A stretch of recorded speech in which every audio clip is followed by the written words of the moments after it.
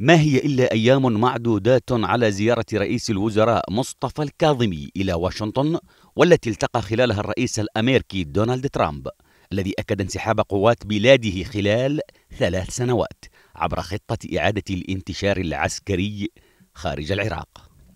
ترامب يرى في مجيء الكاظمي وتسنمه منصب رئاسة الحكومة مستقبلا أفضل للعراق وشعبه والتحول في التعاون الأمني من الوجود العسكري إلى تعاون يتعلق بالتدريب والتسليح للقوات الأمنية العراقية لمواجهة التنظيمات الإرهابية.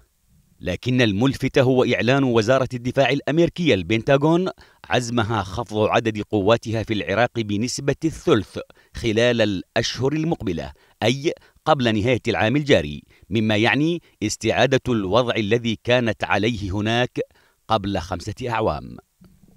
صحيفة وول ستريت جورنال نقلت عن مسؤولين أمريكيين قولهم إن التخفيض سيحتفظ بثلاثة آلاف وخمسمائة جندي فقط في ثلاث قواعد عسكرية هي الحرير في أربيل وعين الأسد في الأنبار إلى جانب قاعدة في أطراف العاصمة بغداد.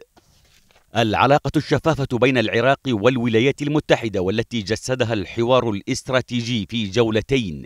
إحداهما جرت عن بعد والأخرى في واشنطن لإعادة ترتيب العلاقات العسكرية وتعزيزها في المجالات الاقتصادية والمالية والثقافية وغيرها.